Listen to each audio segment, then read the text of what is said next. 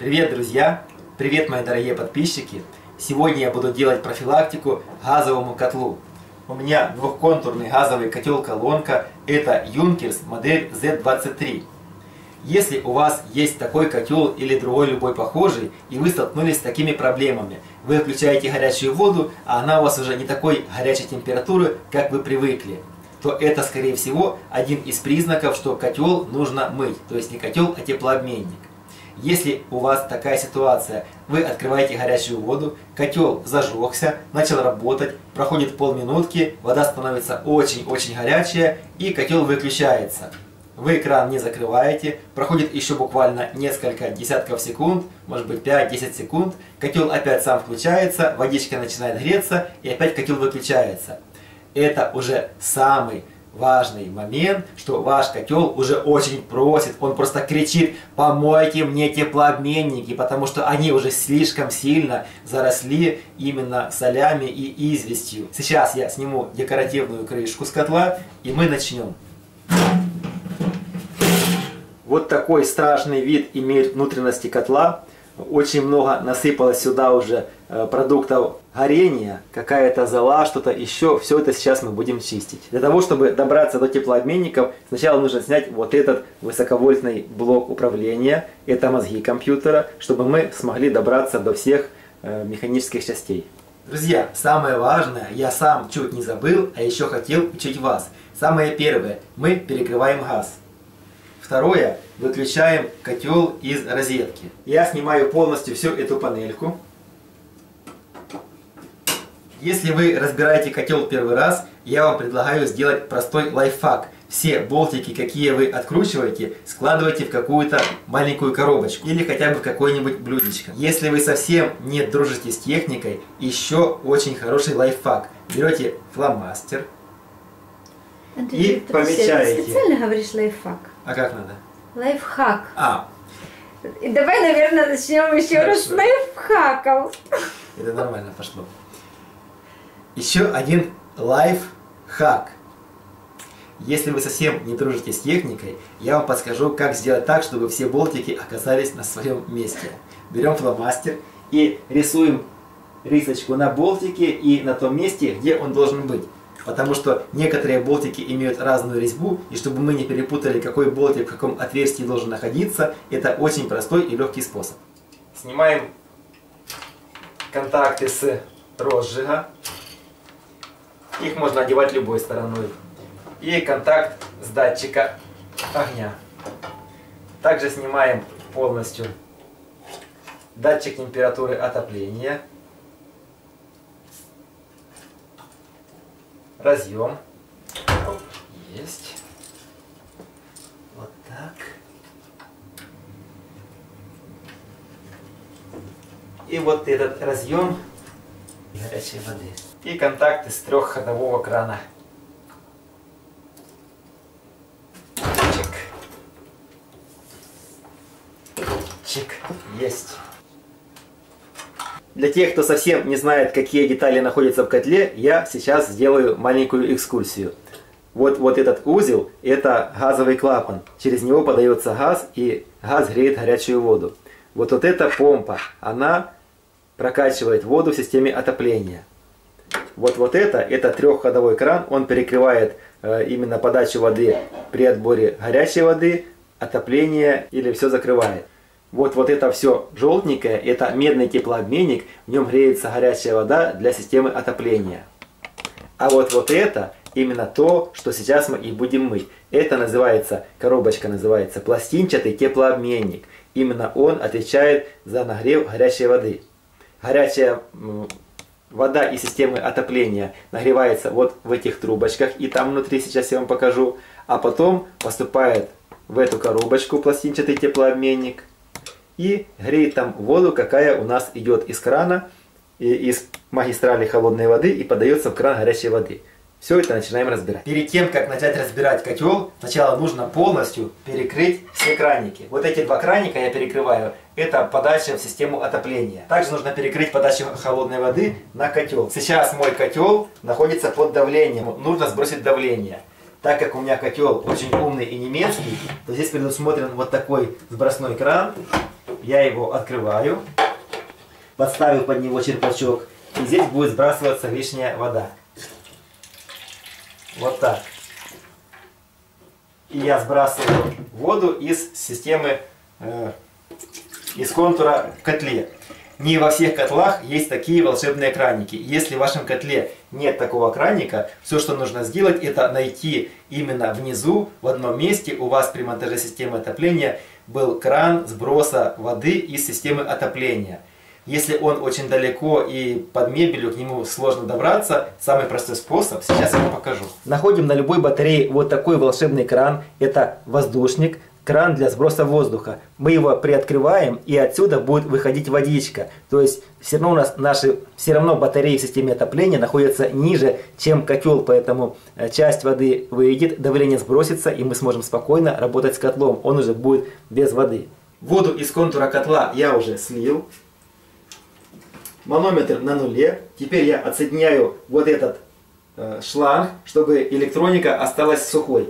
Вот здесь есть разъем, это датчик температуры отработавших газов. Я его отсоединяю, а вот здесь снимаю еще два контакта с датчика температуры, э, который стоит на теплообменнике. Откручиваем вот этот болтик и вытягиваем этот разъем. Болтик закручиваем на место, чтобы он не потерялся.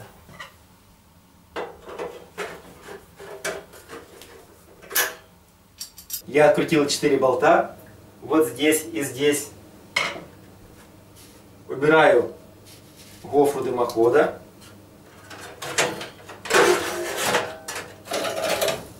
И достаю вот эту шахту. Вот столько нехороших вещей остается здесь после работы котла. Все это я почищу. Еще один лайфхак. Э, для системы отопления нужны специальные инструменты. Они стоят достаточно дорого. Если у вас таких инструментов нет и вы не занимаетесь ремонтами э, котлов на промышленной основе, то проще сделать из обычного э, гаечного ключа вот такой инструмент. Я его взял и обточил, чтобы его губки были очень тоненькие по сравнению с обычным ключом. Вот обычный ключ, у него вот такие мощные губки, для того, чтобы он смог выдержать большое усилие. А здесь усилия большого не нужно. И вот эти большие губки нам не дают пробраться к именно тем гайкам, какие мы будем крутить. Поэтому я вот так обтащил. Это очень удобно и бесплатно.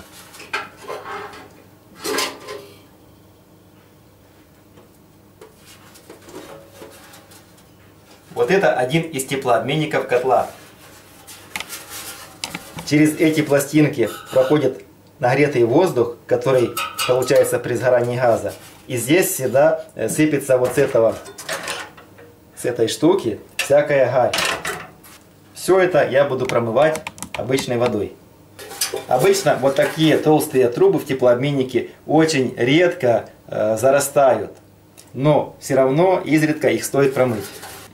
Вот столько сыпется продуктов горения на сами конфорки газовые, что очень сильно ухудшает качество работы котла. Я беру пылесос и все это буду полностью пылесосить. А сейчас я буду снимать вот этот пластинчатый теплообменник. Для того, чтобы его снять, вот здесь есть две маленькие гаечки, одна здесь, вторая здесь. Я их откручиваю, и он аккуратненько поднимается.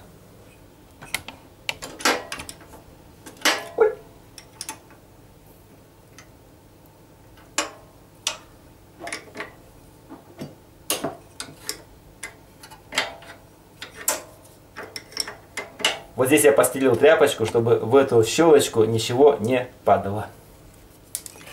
И аккуратненько вот так шевеля поднимаем теплообменник.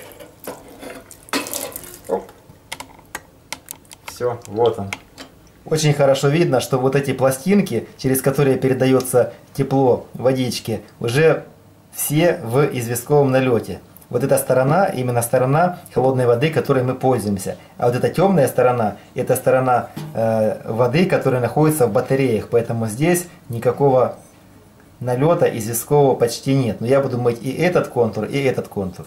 Для промывки теплообменников я использую специальную промывочную жидкость. Я ее покупаю у знакомого э, человека, который работает в сервисе котлов. При промывке всегда э, жидкость, какая будет промывать сами теплообменники, она грязная, и поэтому очень большая вероятность, что мойка будет испачкана. Поэтому я всю жидкость буду выливать в это ведерко.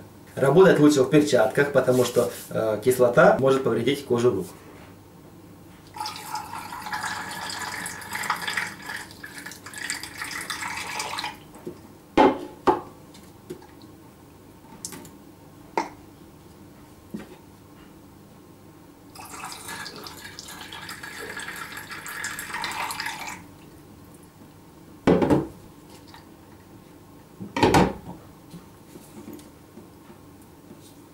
Сейчас видно мелкие-мелкие пузыречки, э, которые появляются при реакции с известковым налетом.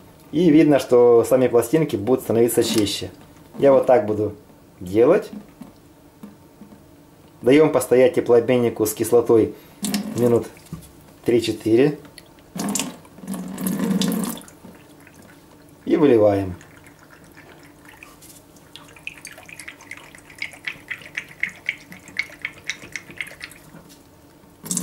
Видите, какая грязная жидкость получается. Пока моется пластинчатый теплообменник, я налью еще раствор кислоты в этот большой медный теплообменник.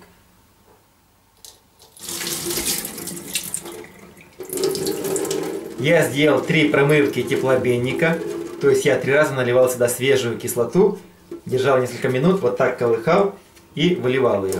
Теперь я хорошенечко промываю проточной водой полностью весь теплообменник. Вот этот контур был черный, это был контур теплоносителя и системы отопления. А вот этот контур, это контур горячей воды. Он стал очень чистым, а это контур, который был черный, это контур теплоносителя. Он тоже хорошенечко отмылся. Вот этот теплообменник я тоже промыл. Сейчас я промываю проточной водичкой трубочки и хорошенечко со щеткой промываю вот эти все пластинки от э, нагара.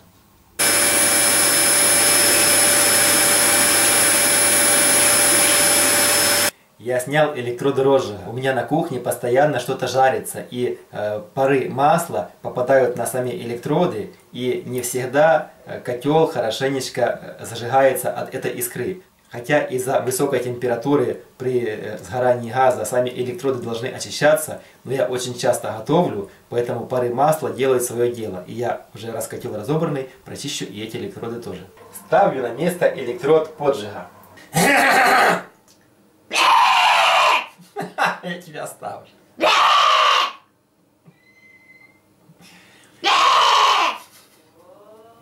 Промывка теплообменников уже закончена. Сборку произвожу в обратном порядке. Вот здесь стоят вот такие резиновые колечки. Хорошенечко их очищаем, чтобы они были чистые. И ставим сюда теплообменник.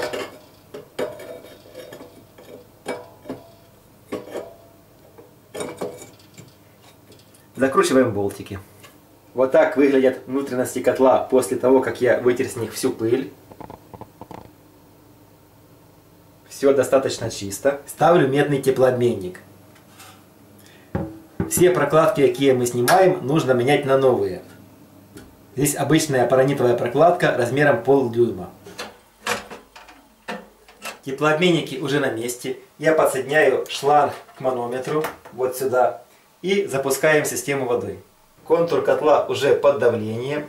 И я подсоединяю разъемы датчиков. Это розжиг, газовый клапан, датчик пламени, датчик отработавших газов, датчик температуры, датчик горячей воды. Датчик протока воды, трехходовой клапан,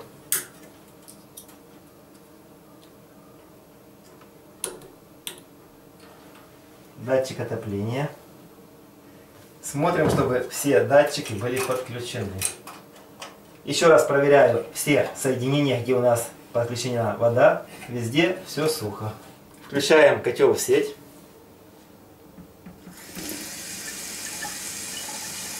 Руку беру.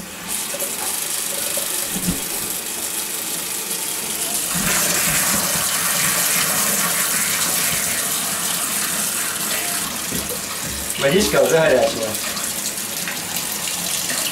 Я проверил все соединения на котле. Все прекрасно, все сухо. Котел работает, горячая водичка бежит, отопление работает. Котел еще будет работать после такого обслуживания долго и счастливо. Друзья, если вам понравилось мое видео, ставьте лайки, подписывайтесь на мой канал. Ссылочка для подписки вот здесь внизу. Вот здесь рядышком есть колокольчик. Нажимайте на колокольчик, и вы будете всегда в курсе всех новых видео на моем канале. И помните, кухня – это самое спокойное место.